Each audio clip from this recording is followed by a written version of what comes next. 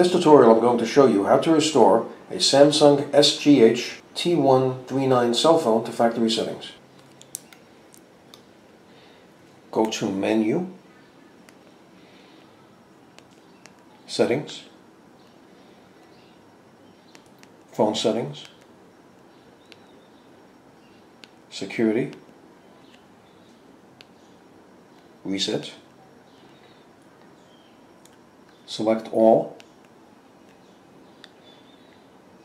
go to reset, yes.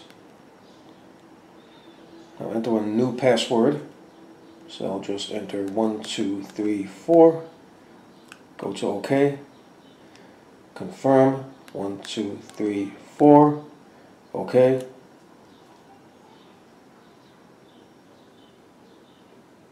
And there you go. The phone has been restored to factory settings. So I hope you found this video useful. If you have, please show your support for this channel by subscribing.